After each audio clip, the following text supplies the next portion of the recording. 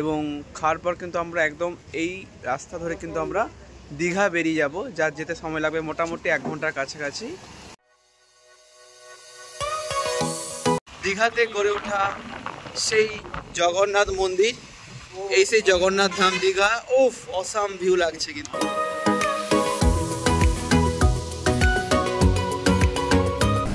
সূর্য উঠেছে এবং তার মাঝে কিন্তু ঠান্ডা বৃষ্টি।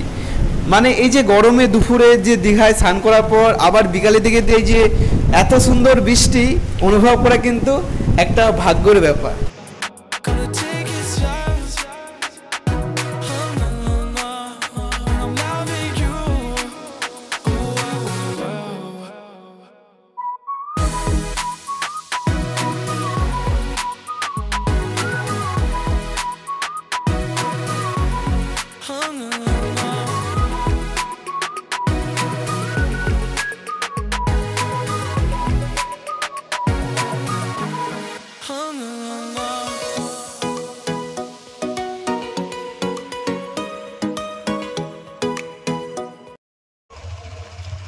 উড়িষ্যা তেরো কিলোমিটার এবং কাঁথি ছত্রিশ কিলোমিটার।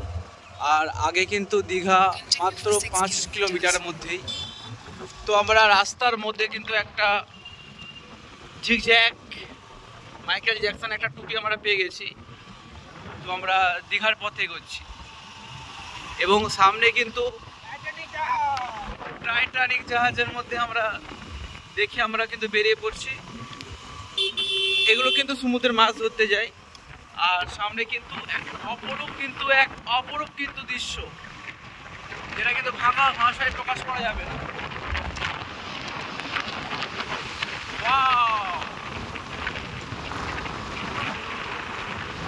ব্রিজ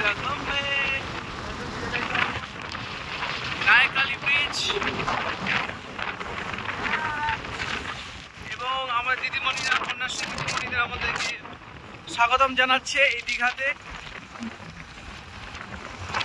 এবং নীল সাদাই কিন্তু আমরা এগিয়ে চলেছি।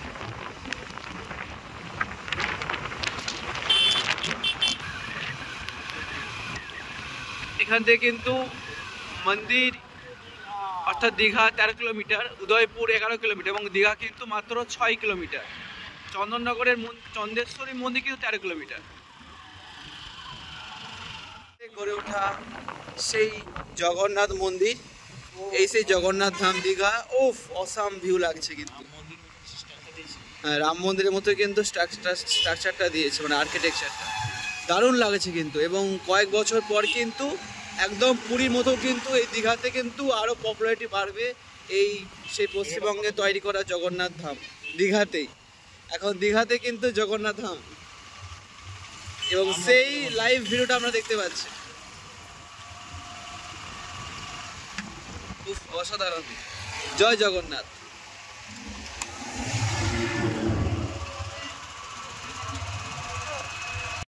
দীঘায় এসে কিন্তু আমরা হোটেল চেক ইন করার পর কিন্তু আমরা বাইকে করে আশেপাশের পরিবেশটা আমরা দেখছি এবং আমরা আমাদের ব্রেকফাস্টটা করব। তো এখন সমুদ্রের জল কিন্তু জয়ের টাইম তো তো সমুদ্রে একটু ভিড়টা কম রয়েছে এবং যখন আস্তে আস্তে ভাটা আসবে তখন কিন্তু ভিড়টা বেশি হবে। তো আশেপাশে কিন্তু সবাই কিন্তু স্নান করে তারা ডুবে যাচ্ছে।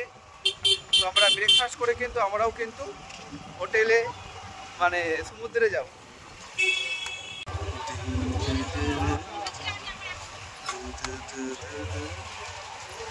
তো হোটেলে একটু বিশ্রাম নেই কিন্তু আমরা লাঞ্চে চলে আসি।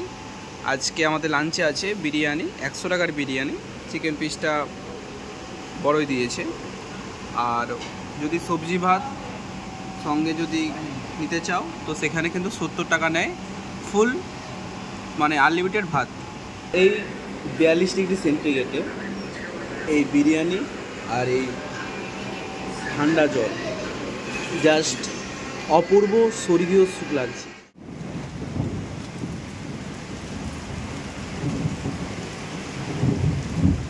দুপুরে তপ্ত গরমে কিন্তু দীঘা আমরা এনজয় করে। আবার বিকেলের দিকে কিন্তু আমরা এই সুন্দর দীঘাতে কিন্তু আমরা বৃষ্টি দেখতে পাচ্ছি। এই গরমের মধ্যেও কিন্তু আমরা দীঘাতে বৃষ্টি দেখতে পাচ্ছি। বাইরে দেখো কিন্তু একটা হালকা মোটামুটি বৃষ্টি পড়ছে এবং এই এরিয়াটা কিন্তু খুব সুন্দর লাগছে এবং এই ছাদ দিয়ে কিন্তু যে দীঘা যে হোটেলগুলো কিন্তু খুবই খুবই কিন্তু এক কথায় সুন্দর লাগছে। বেশ দেখো ভিউটা কিন্তু অসাধারণ লাগছে। যেহেতু ছাদটা খোলা নেই দেখাতাম ডিটেলসটা যাই হোক, এখন দেহায় কিন্তু বৃষ্টি হচ্ছে এবং আমরা যেই হোটেলটা নিয়েছি, এটা কিন্তু মোটামুটি আমাদের পাঁচশো টাকা নিয়েছে দুজনের, একটা রুম আমি ডিটেলসটা দেখে দিয়ে দেবো, দাদার নাম আর আমি ফোন নাম্বারটা দিয়ে দেবো ডিসক্রিপশানে ঠিক আছে? আর এখান থেকে যদি দেখি, দেখো হালকা কিন্তু সূর্য উঠেছে এবং তার মাঝে কিন্তু ঠান্ডা বৃষ্টি। মানে এই যে গরমে দুপুরে যে দীঘায় স্নান করার পর, আবার বিকালের দিকে দিয়ে যে এত সুন্দর বৃষ্টি, অনুভব করা কিন্তু একটা ভাগ্যের ব্যাপার। তো আজকে আমরা রয়েছি বেরিয়ে যাব। গরমে কিন্তু এই যে বৃষ্টিতে পাচ্ছি দীঘায় এসে কিন্তু খুবই খুবই কিন্তু ভালো লাগছে। অসাধারণ ভিউ অসাধারণ ফিল করতে পারছি, যেটা কিন্তু আমার অর্থ দিয়ে কিন্তু প্রকাশ করা যাবে না। খুবই ভালো লাগছে। আমি ভিতর থেকে খুবই অনুভব ভালো লাগছে আমার। তো এবং আমরা সন্ধ্যেবেলায় বিচ মার্কেটটা একটু ঘুরবো, আর কিছু কেনাকাটা করব। তারপরে কিন্তু আমরা রাতে খেতে কিন্তু আবার ঘুমিয়ে পড়ে কিন্তু কাল সকালে কিন্তু আবার সান রাইস আবার দেখতে উঠবো, তারপরে কিন্তু আমরা বাড়ি যাব। তো এই দীঘা কিন্তু আমার খুবই খুবই ভালো লাগছে। আমি যদি একটু দীঘার ভিউটা দেখাই আপনাদেরকে, দেখতে পাবেন। দেখুন। হালকা কিন্তু এই বৃষ্টিতে কিন্তু এই যে হাওয়াটা দিচ্ছে, খুবই ভালো লাগছে, অসাধারণ লাগছে। দেখো, একদম কিন্তু বার্ড আই ভিউ আমরা দেখতে পাচ্ছি, একদম ছাদ থেকে, দীঘার হোটেলগুলো। আর আমি যদি আরেকটা আপনাদের ভিউ দেখাই, দেখতে পাবেন হয়তো, দেখো।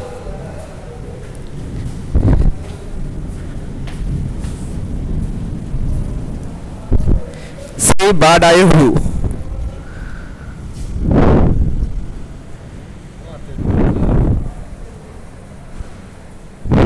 এইগুলোর কারণে কিন্তু আমার মনে হয় বাঙালি তার ভ্রমণের জন্য দীঘাকে ফার্স্ট নম্বরে রেখেছে। এই দীঘা থেকে মানে বিচ থেকে কিছুটা দূরে কিন্তু অনেক কিন্তু পার্শ্ববর্তী হোটেল রয়েছে।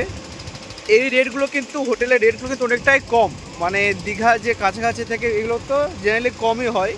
তো এই যা যে হোটেলগুলো আছে, মোটামুটি কম রেটের মধ্যেই আছে। মানে কম্পেয়ার তুলনামূলক কম রেট আছে। আর আমরা একটু বিকেলে একটা ঘুরতে বেরিয়েছি, তো খুব ভালো লাগছে। বাইক নিয়ে আসার একটা সব থেকে যে ভালো গুণটা, যে আমার সঙ্গে হিরো রয়েছে সব থেকে ভালো যে গুণটা হচ্ছে আমরা কিন্তু বাইক চালে কিন্তু আশেপাশে যে সাইড সিনগুলো করতে পারি। এটা কিন্তু যারা কাছাকাছি থাকে তারা অবশ্যই বাইক নিয়ে আসে বা গাড়ি নিয়ে আসে। তো আমরা কিন্তু বিকেল টাইমটা একটু আগেই অনেক বৃষ্টি পড়েছিল, অনেকটাই জল হয়েছে। তো আমরা এই ঠান্ডা হওয়ার মাঝে কিন্তু আবার আমরা বেরিয়ে পড়েছি। তো খুবই ভালো লাগছে আমাদের। আর এদিকে কিন্তু দীঘা শঙ্করপুর উন্নয়ন কর্তৃপক্ষ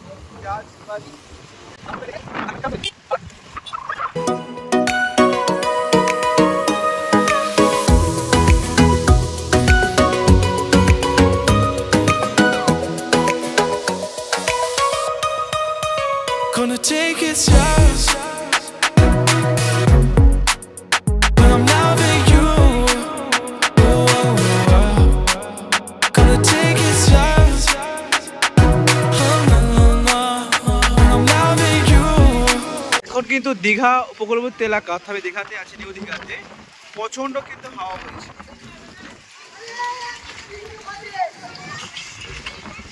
আশেপাশে দেখে হয়তো বুঝতে পারছ, প্রচণ্ড হাওয়া এলাকায়। দারুণ লাগছে কিন্তু এটা হাওয়ায়।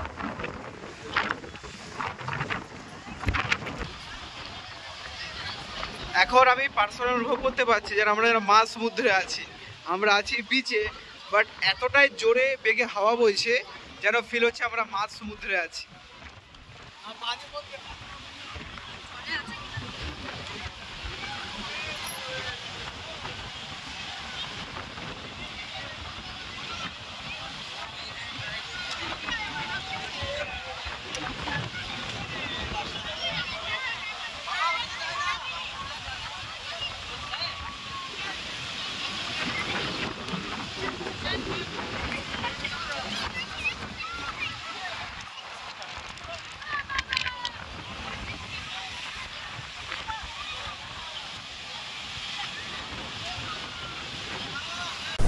এখন বাজে বিকেল পাঁচটা আর আমি আছি নিউ দীঘার সি বিচ। ক্যামেরাম্যানকে দেখাতে হলো দীঘার সি বিচটা দেখাতে বলব একটু। তো এই দীঘার সি বিচ কিন্তু এখন কানায় কানায় কিন্তু মানুষে ভর্তি। পশ্চিমবঙ্গের সবথেকে জনপ্রিয় বিচ আমাদের দীপুদা অর্থাৎ দীঘা। তো আমি এখন বর্তমানে রয়েছি দীঘাতে। তো আমরা দুপুরে এসেছিলাম। এখানে কিন্তু প্রচণ্ড কিন্তু রোদে কিন্তু আমরা নাজেহাল অবস্থা আমাদের হয়েছিল, নাকি?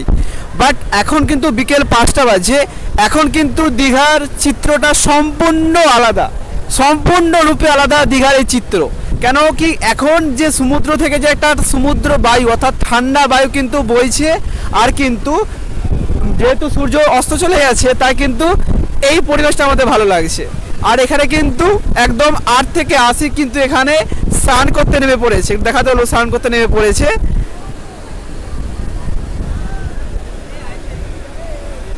কো- খুবই ভালো লাগছে। আরেকটা আমি দেখাতে বলো ক্যামেরা ম্যানকে দেখুন। বাবা মা এবং তার সন্তান, কি সুন্দর লাগছে, দেখুন। তার সন্তানকে কিন্তু ঢেউ খাওয়াচ্ছে। এইগুলো কিন্তু আমরা ছোটবেলায় কিন্তু আমরাও একটা ফিল পেয়েছি আর আমরা কিন্তু বাস্তব ফিল পাচ্ছি। তো এরকম কিন্তু এই দীঘাতে কিন্তু প্রচুর স্মৃতি আমরা আজকে সম্পূর্ণরূপে মুগ্ধ। আর খুব ভালো লাগছে কিন্তু এখানে যেহেতু এখন গরমকাল তো এখন কিন্তু এই দীঘাতে কিন্তু মানে দুপুরবেলা তাপমাত্রা, আর তেতাল্লিশ ডিগ্রি চুয়াল্লিশ ডিগ্রি সেন্টিগ্রেড। এবং বিকালে কিন্তু এত সুন্দর ঠান্ডা কিন্তু সম্পূর্ণরূপে আলাদা। তো খুবই ভালো লাগছে দীঘার এই সমুদ্র সৈকত। তো খুবই এনজয়েবল এবং যারা, আপনারা দীঘা আসতে চাইছেন, যারা ভাবছেন যে গরমে দীঘা যাব কি যাব না, আমি বলব আসুন। কেন কি দুপুরে আপনার দীঘাকে ফিল করতে না পারলেও কিন্তু এই বিকেল টাইম বা সন্ধ্যা টাইম কিন্তু আপনার দীঘাকে সম্পূর্ণভাবে ফিল করতে পারবেন। এবং আমি একটা টুপি কিনেছি, দেখুন। এই টুপিটা আমার একশো টাকা নিয়েছে। খুব ভালো লাগছে আর কি। তো আমরা আজকে দীঘা মার্কেটটা ঘুরবো সন্ধ্যাবেলা এবং তারপরে কিন্তু হোটেলে ফ্রেশ হয়ে কিন্তু আমরা কালকে সকালে কিন্তু সূর্যাস্ত দেখে কিন্তু আমরা বাড়ি ফিরে যাব। তো এই মুহূর্তে কিন্তু অপূর্ব লাগছে এবং দীঘাতে আমি একটা একটা ভুল করেছি আজকে। আর আপনার দেখাচ্ছি, দেখুন। আমার কিন্তু হাত ফাত ছড়ে গেছে। স্নান করতে চাইলে কিন্তু এই এলাকা থেকে স্নান থেকে ওই এলাকায় যাবেন। কেন কি এখানে আপনাদের দুর্ঘটনা ঘটার সম্ভাবনা আছে। যেহেতু আমি এটা ফিল করেছি, তাই আপনাদের আমি জানিয়ে রাখলাম। স্নান করলে এই জায়গাগুলো বাদে কিন্তু আমরা ওই জায়গায় আমরা স্নান করব। সামনে দীঘা বিচ এবং তার সামনেই দীঘা মার্কেট জমজমাট উঠে উঠে উঠেছে দীঘা মার্কেট সন্ধ্যা নামতে কিন্তু জমজমাটে দীঘা মার্কেট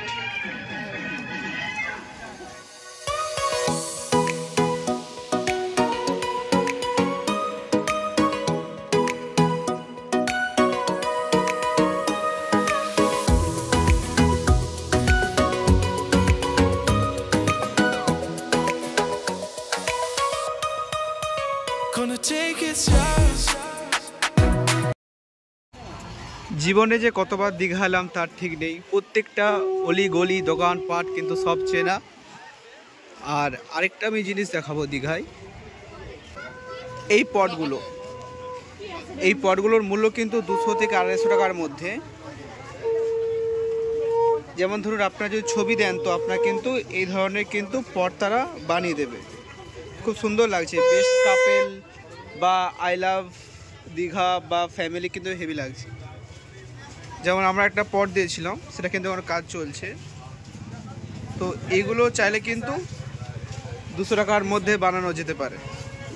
খুব সুন্দর, ভালো লাগছে, দারুণ লাগছে।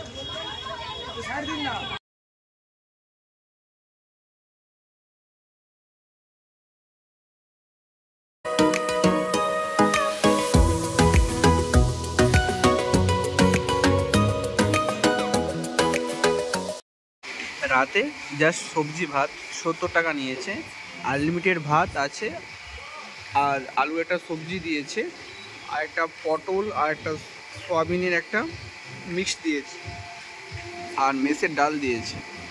তো এই সত্তর টাকা আজকে আমাদের ডিনার কমপ্লিট হলো, সত্তর টাকা সবজি ভাত। দীঘা শঙ্কর পূর্ণায়ন কর্তৃপক্ষ এবং আমাদের রুমটা কিন্তু একদম সামনে। আমি আপনাদের দিকে দেখিয়ে দিচ্ছি আমাদের রুমটা কী রকম তোমরা চাইলে কিন্তু আসতে পারো। এই যে মেন রোড এখান থেকে কিন্তু আমাদের রুমটা আর একদম সামনে। এই যে প্রিন্স প্লাজা লেখা আছে, এখান থেকে একদম সামনে।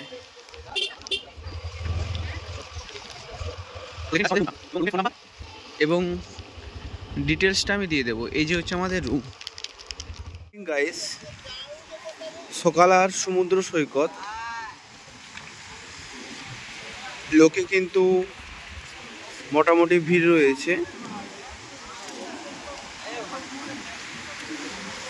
তারা বাড়ি যাওয়ার আগে কিন্তু একটা শেষ অনুভূতি করে নিচ্ছে। এখন জ্বরের টাইম তাই কিন্তু জ্বরটা এগিয়ে চলে আসছে।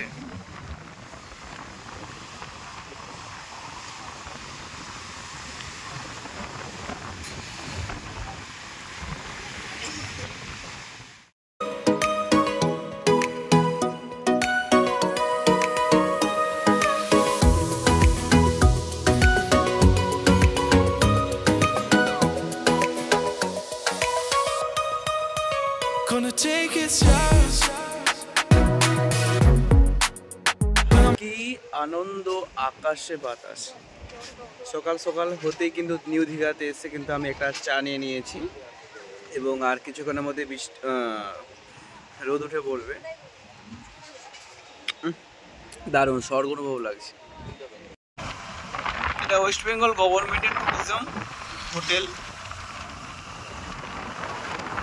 তো আমরা কিন্তু একদম মেরিন ড্রাইভ করবে কিন্তু আমরা উদ্দেশ্যে আমরা যাচ্ছি। আর চারপাশে সকালে স্নিগ্ধ হাওয়া, মনকে যেমন শীতল করে তুলেছে, তেমনই কিন্তু আমাদের আত্মাকে উজ্জীবিত করেছে। তো আজকের জন্য বাই